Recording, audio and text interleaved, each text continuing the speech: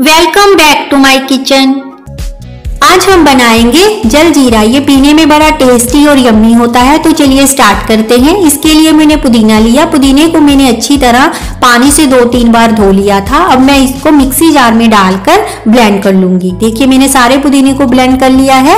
अब छालनी से मैं इसके सारे रस को देखिए, इस तरह से निकाल लूँगी। अगर आप मेरे चैनल पे नए हो, वीडियो को लाइक कीजिएगा, चैनल को सब्सक्राइब कीजिएगा नोटिफिकेशन के लिए बेल को प्रेस कीजिएगा। अगर वीडियो अच्छा लगा तो वीडियो और चैनल के लिंक को शेयर कीजिएगा। देखिए मैंने सारे जूस को इस तरह से निकाल लिया है। इस पुदीने को भी मैं फेंकूँगी नहीं, इसमें प्याज, नमक, मसाला वगैरह डालकर इसको मैं चटनी में यूज़ कर लूँगी। देखिए, जूस हमारा तैयार है, अब हम इससे बनाते हैं जलजीरा। सबसे पहले गिलासेस में मैं डालूँगी काला नमक रेगुलर नमक डालूँगी स्वाद अनुसार। फिर मैं इसमें डालूँगी काली मिर्च। काली मिर्च डालने के बाद इसमें मैं डालूँगी भूना जीरा।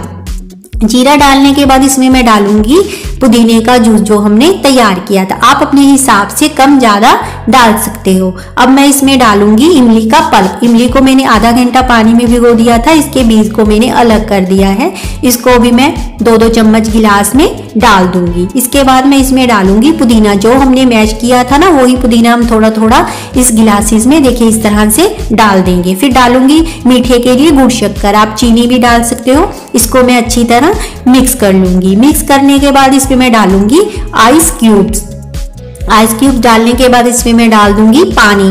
पानी के बाद इसमें मैं डालूँगी बूंदी, जो हम दही में डालते हैं वो। अगर आप बूंदी की रेसिपी देखना चाहते हो तो डिस्क्रिप्शन बॉक्स में उसका लिंक दिया हुआ है, वहाँ पे जाके देख सकते हो।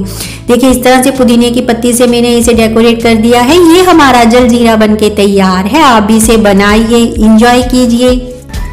Thanks for watching